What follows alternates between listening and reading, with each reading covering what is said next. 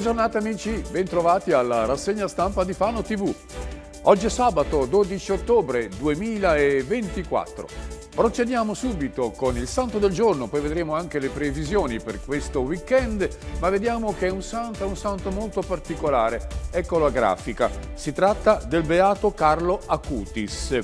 Ad Assisi non c'è solo San Francesco che ovviamente monopolizza l'attenzione dei fedeli, c'è anche un santo, un ragazzo, Carlo Acutis. È morto a 15 anni, in giovanissima età, a causa di una malattia, di una malattia che non perdona. Ebbene, eh, Carlo Acutis, amico di tanti, tanti giovani, considerato patrono del web, era esperto in informatica, nonostante la sua giovane età, amava la fotografia, amava il web e quindi è un santo molto molto vicino ai giovani d'oggi. Vediamo anche le previsioni del tempo.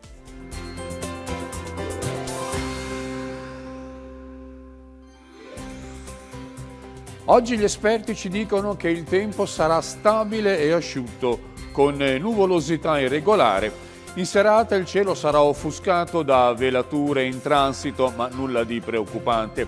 Le temperature 13 la minima, 20 la massima. Ebbene, siamo ancora in zona pericolo per quanto riguarda la diffusione della zanzara tigre, in quanto le temperature si mantengono ancora alte, il freddo che dovrebbe ridurre la popolazione delle zanzare ancora non arriva. I venti, I venti sulle coste spireranno con una tensione media da ovest così come nell'entroterra. Il mare è leggermente mosso, il sole sorgerà alle 7.17 e tramonterà alle 18.31.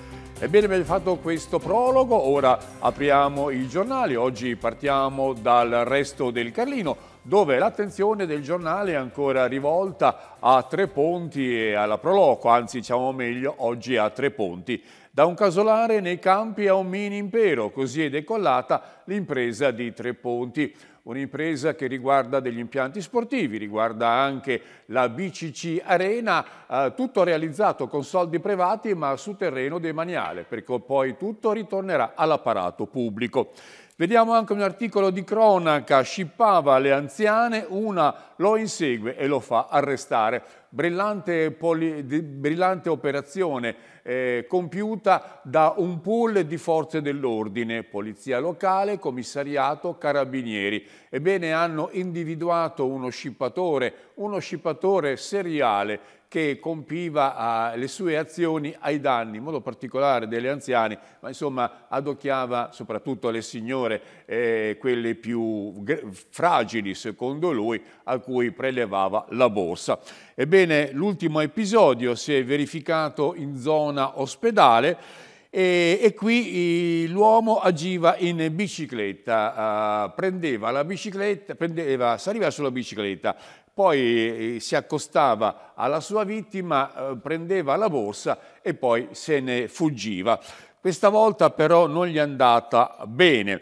È stato arrestato il quarantenne di Mondolfo che faceva tutto questo perché aveva dei problemi di tossicodipendenza. Infatti con i soldi che riusciva a prelevare dalle sue azioni andava a Pesaro, acquistava la droga e poi se la consumava e scippava soprattutto le settantenni e poi fuggiva anche lui in bici. Questa volta eh, è fuggito verso, verso, la stazione, la zona ospedale, aveva compiuto appunto la sua ultima azione e poi è andato giù via Vittor- con via Vittorio Veneto verso la stazione ed è stato rincorso da una delle sue vittime, quelle più giovani, quelle più prestanti, però questa donna non è riuscita a raggiungerlo. Arrivato sulla nazionale, l'uomo appunto si è diretto verso la stazione, la donna invece è andata dall'altra parte, a destra, verso i carabinieri. Qui ha fatto la sua denuncia e poi grazie alla sua descrizione, ma grazie anche al sistema delle telecamere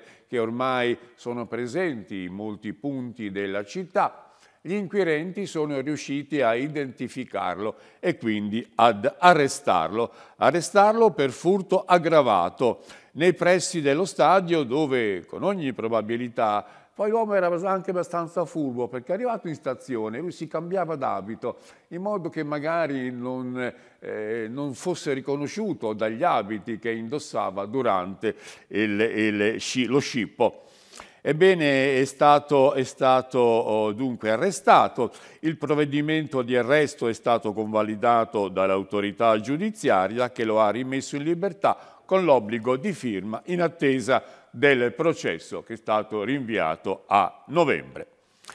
Una importante decisione è stata assunta uh, nell'ultima seduta della Giunta di Fano, ovvero la realizzazione dei consigli di quartiere, una previsione che ormai è in ballo da anni, ebbene la Giunta Ser Filippi l'ha attuata in breve tempo, nei primi 100 giorni della sua attività.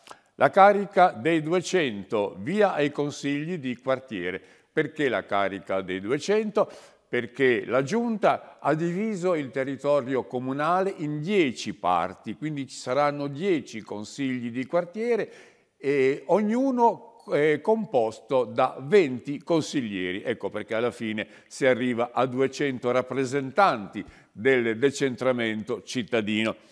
Ebbene, è una uh, realizzazione che è stata congegnata uh, in, modo, in, modo, piuttosto elaborato. Cinque, eh, dunque, eh, diciamo bene, il primo atto è quello dell'iscrizione. Coloro che vogliono far parte dei consigli di quartiere possono iscriversi ad un bando che verrà pubblicato entro il mese di dicembre. Tra quegli iscritti, 5 verranno sorteggiati e faranno parte dei consigli di quartiere. Gli altri 15 verranno nominati dal Consiglio Comunale. Ebbene, questo meccanismo non è piaciuto al Partito Democratico che già ieri ha emesso una sua nota firmata dal suo segretario Renato Claudio Minardi e da tutti i componenti del gruppo consigliare i quali contestano questa decisione dicendo che invece, che invece del Consiglio Comunale sarebbe stato più giusto far eleggere i consiglieri di quartiere direttamente dai cittadini.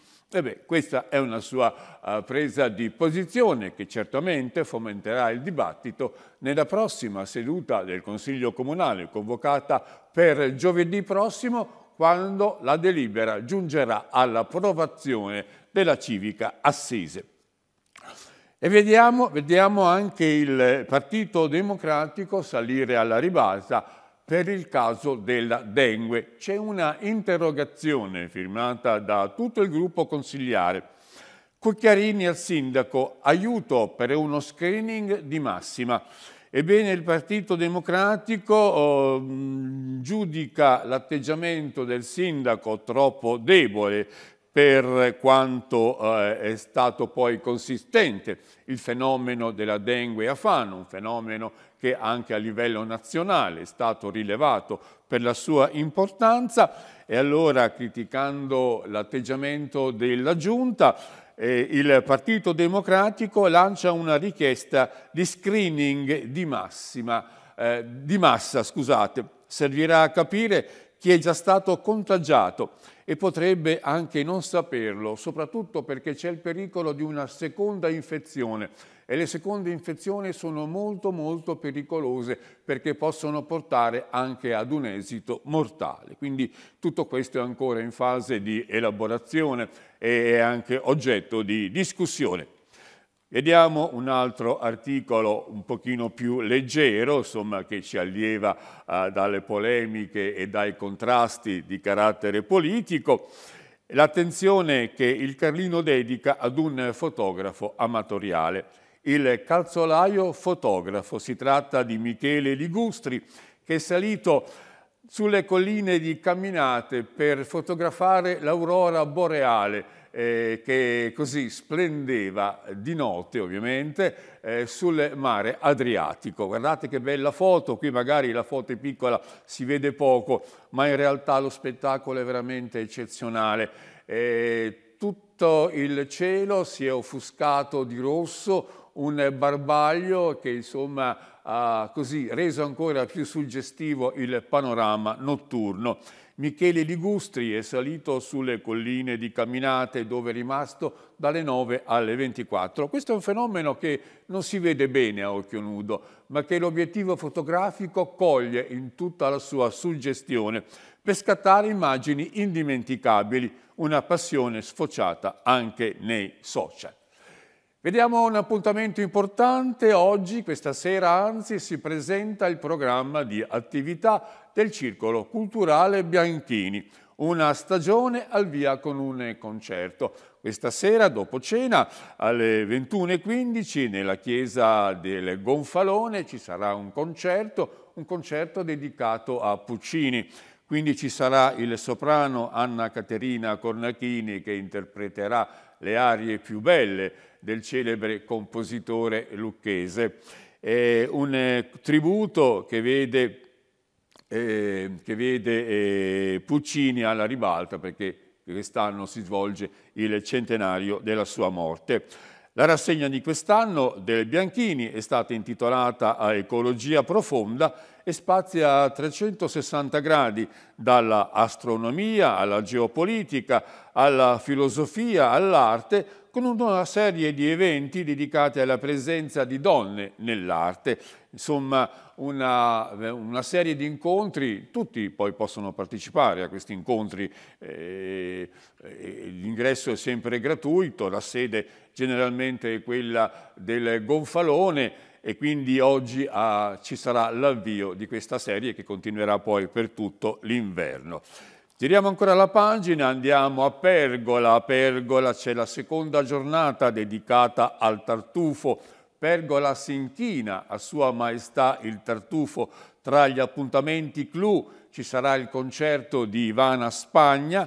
Ivana Spagna in piazza Fulvi alle ore 17.30 domani e poi un super ospite come Luciano Sorbillo, il re della pizza napoletana, l'unico pizzaiolo riconosciuto dalla Regione Campania come eccellenza campana in Italia e nel mondo, quindi assaggiare una pizza fatta da Sorbillo dovrebbe essere una cosa veramente eccezionale.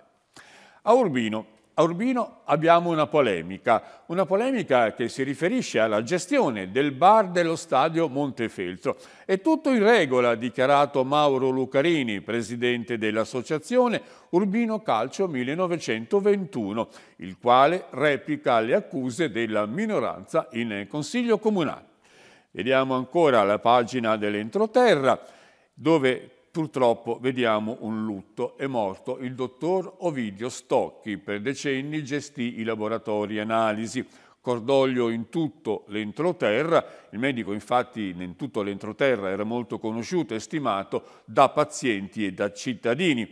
Aveva incarichi di altissima responsabilità e conservava cordialità e disponibilità, nonostante che fosse una persona autorevole, nel senso eh, che doveva, eh, aveva un impegno veramente importante, era molto disponibile, era molto cordiale con tutti. I funerali si svolgeranno oggi alle 15 nella chiesa di San Michele Arcangelo di Macerata Feltria. Una lunga fila di persone ha voluto dare già da ieri l'ultimo saluto all'obitorio dell'ospedale di Urbino eh, per appunto oh, così rendere omaggio alla salva. Ebbene, Cantiano è, è, non solo Cantiano è, è, oggetto, poi lo vedremo anche in un altro articolo, ma anche altre località sono molto fragili nei confronti dei temporali, di quegli accazzoni improvvisi che seminano veramente tanti tanti danni in tutto il territorio. Questa volta eh, ne hanno fatto le spese Cagallo e Trasanni. Due bombe d'acqua sono piovute in queste due località. Sembrava ieri una giornata abbastanza così leggera, invece la pioggia ha veramente eh, è caduta insistentemente tra le 19.30 e le 20, quindi mezz'ora, mezz'ora appena, ma ha fatto molti danni eh, a Trasanni di Urbino e al Gallo. A Castelboccione l'episodio si è verificato alla prima curva sotto il distributore Esso e anche qui c'è stato uno smottamento di terra.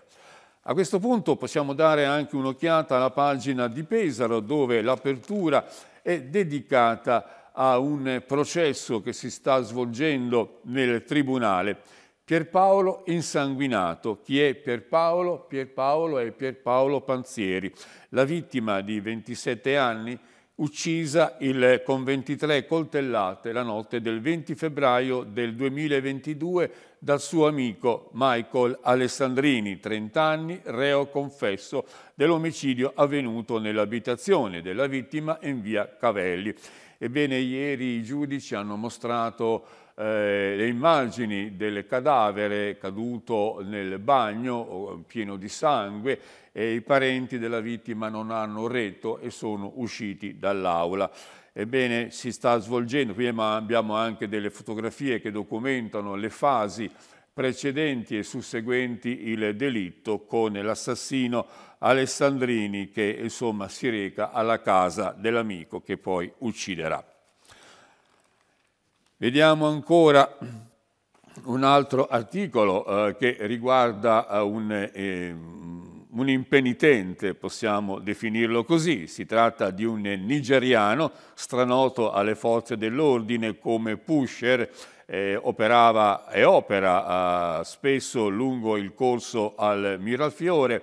Ebbene, ieri è stato identificato, nonostante che fosse oggetto di un provvedimento di via da Pesaro da diverso tempo, ebbene l'uomo è fuggito, poi è stato raggiunto, ha reagito alla, alle fasi d'arresto da parte delle, dei poliziotti e poi alla fine eh, è stato ridotto alla immobilità. Uh, lui sa che a Pesaro non ci dovrebbe stare, lo sa dal 2023, però intanto ci ritorna e questa volta insomma è finito nei guai.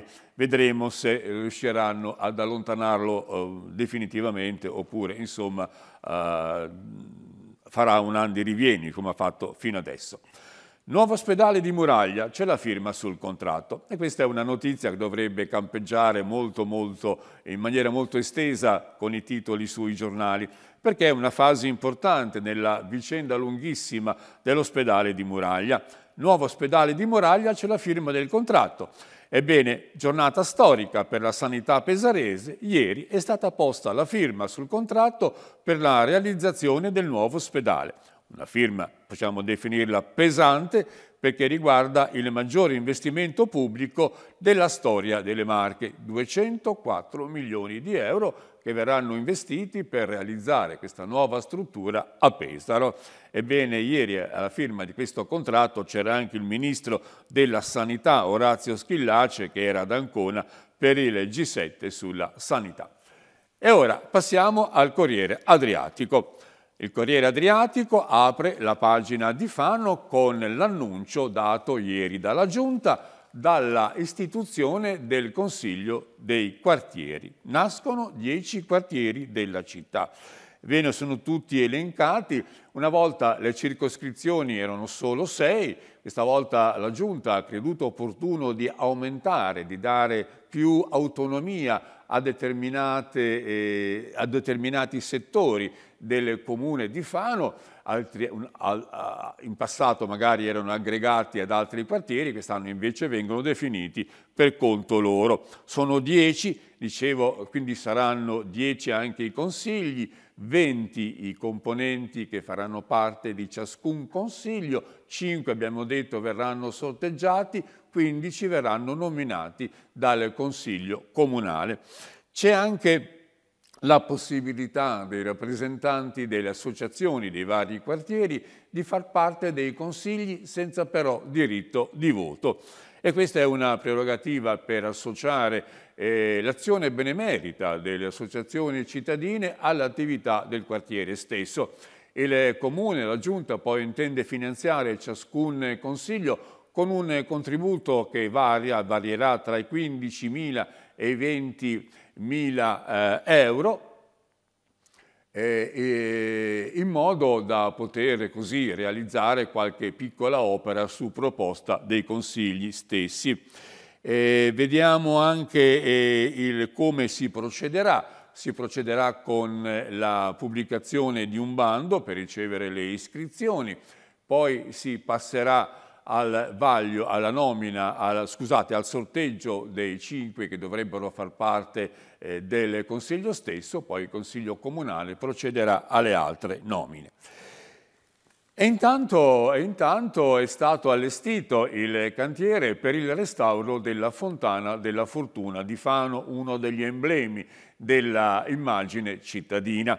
La Fontana della Fortuna versa da tempo in precarie condizioni, i marmi sono rovinati, ci sono anche delle tubazioni idriche che non sono, molto più, sono più efficienti e quindi la fontana sarà eh, oggetto di un radicale restauro non solo nella parte superiore ma anche nella parte inferiore e verrà ripristinato anche lo scalino eh, originario su cui posava il basamento della fontana stessa. Dico che oggi è giorno di mercato e questo ha creato qualche problema agli ambulanti che hanno dovuto lasciare spazio al cantiere della fontana, ma l'amministrazione comunale ha risolto il problema riducendo, non spostando gli ambulanti, ma riducendo la metratura delle loro bancarelle.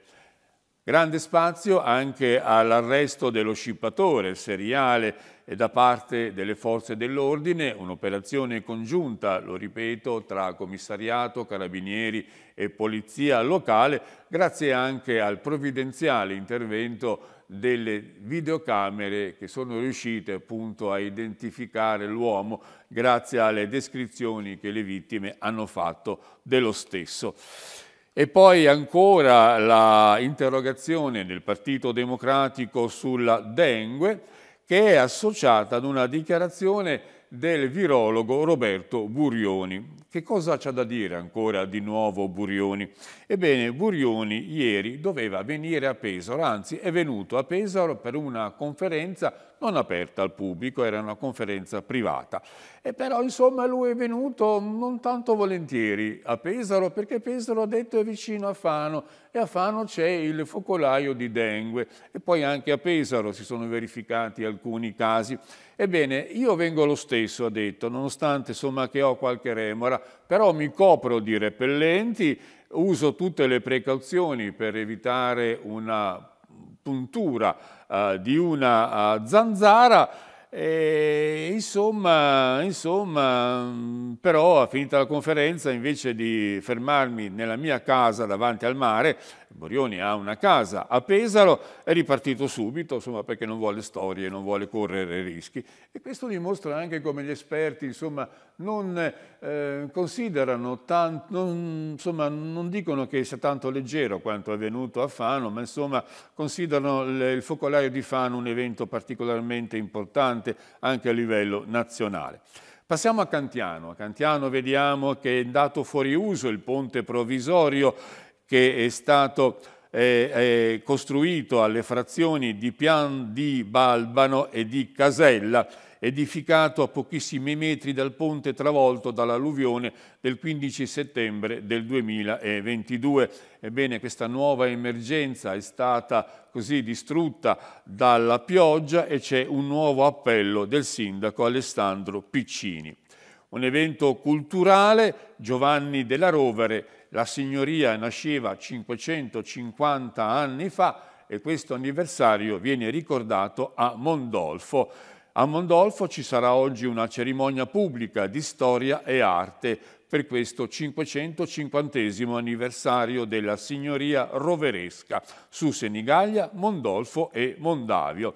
Infatti era il 12 ottobre del 1474 quando Papa Sisto IV infeudava su questi territori Giovanni della Rovere e a 550 anni di quella bolla di investitura la sede di Mondolfo dell'Archeoclub d'Italia propone oggi alle 16.30 nel complesso monumentale di Sant'Agostino un incontro aperto alla cittadinanza, un incontro veramente interessante dal punto di vista storico.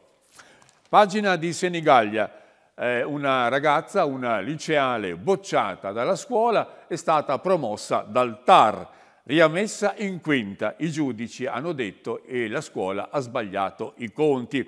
Si tratta uh, di una valutazione che era sette contrari e sette favorevoli, ma a pesare di più è stato il voto del preside, valeva doppio e quindi la liceale è stata promossa in quinta. E questo per il momento è tutto. Abbiamo terminato la nostra rassegna stampa, uh, il prossimo appuntamento è lunedì alle 7. Grazie per l'ascolto e un buon weekend.